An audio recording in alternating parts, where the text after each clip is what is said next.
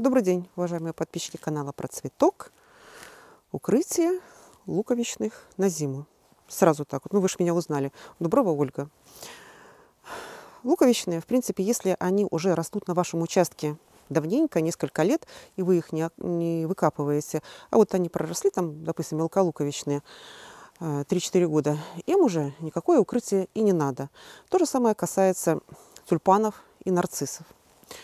Но если вы их даже по всем правилам посадили в этом сезоне, э, мелколуковичные, то, что касается, начнем с маленьких луковичек, у них маленькие луковички, ну, вы понимаете, что вы сажаете донцем вниз, хвостиком вверх, э, потому что если перевернутые, да, они прорастут, но им дольше придется тратить сил на то, чтобы восстановиться и потом выровняться и правильно расти и укореняться. А, посадили на нужную глубину. Нужная глубина – это, как правило, три высоты луковицы для любых луковиц.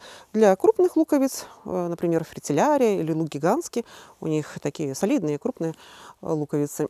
Для них, конечно, глубина немножко побольше. Для фритилярии сантиметров 15-20, еще к тому же по той причине, что у них нет кроющих чешуй, то есть они не защищены и такие вот из себя все рыхлые, поэтому им надо поглубже, а потом еще сверху и укрыть, ну, чуть позже.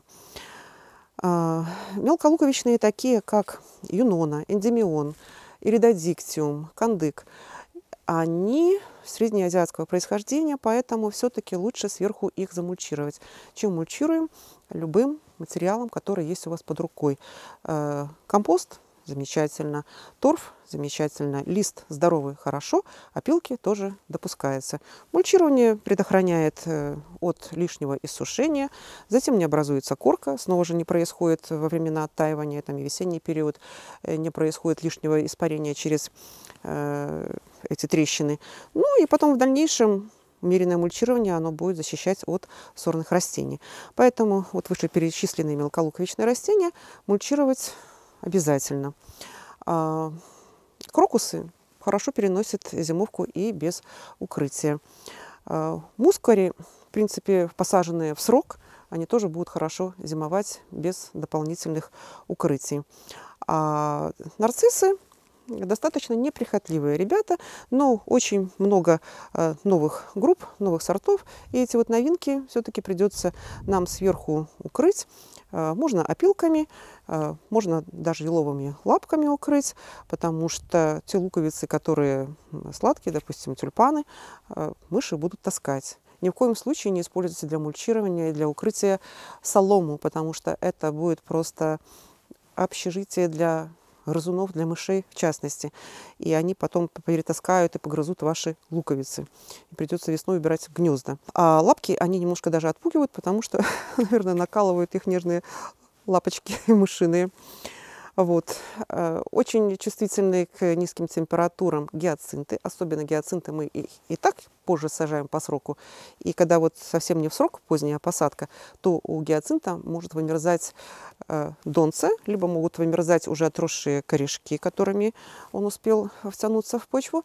И тем самым мы весной не получим цветение у гиацинта, потому что луковица даст дочерние луковки, которые будут выгонять просто листву. Э, укрываем нарциссы, которые многоцветковые называются тацеты, и э, нарциссы из группы очень модные и красивые, густомахровые. Э, тюльпаны, снова же дарвиновые гибриды, они абсолютно неприхотливые и замечательно зимуют без укрытия.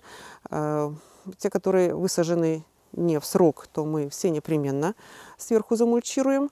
И э, будут чувствительны к низким температурам. Э, тюльпаны среднеазиатского происхождения из группы, группы Кауфмана и Грейга. Теперь переходим к крупнолуковичным. Ну, среди них есть и мелкие луковицы. Это группа луки. Луки, э, они также могут иметь происхождение э, среднеазиатское. Это каратавский, афлатунский лук, лук Суворова, гигантский лук. В принципе, если посадки уже многолетние, то там луковица сама приспосабливается и замечательно зимует. Ну, если посадки свежие, то считается, что эти луки, они боятся мороза. Но вот из моего опыта замечательно растут и ничего они не боятся. А, луковица лука гигантского, она крупная, поэтому сажаем ее, помните, что сажаем ее глубже сантиметров на 15 углубляем в землю, а не просто на 3 высоты. 3 высоты это получится сантиметров 10, а тут мы должны еще больше углубить.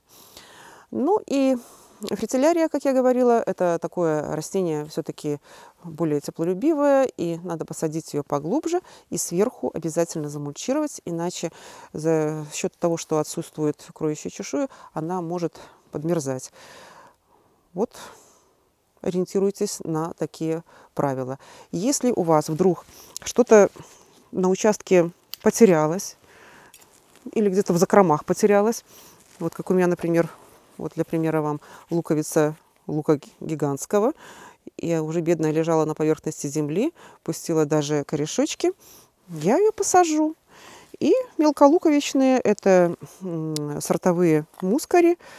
Я их аккуратно выкопала из того случайного места, где их потеряла летом. Поэтому вкопаю аккуратно и все непременно их замульчирую и сверху прикрою еще для пущей теплоты лапкой либо спанбондом для того, чтобы уже наверняка. Вроде бы основные моменты я сказала. Поэтому слушайте, соблюдайте все вот эти вот правила. Спасибо за внимание. До новых встреч. thank you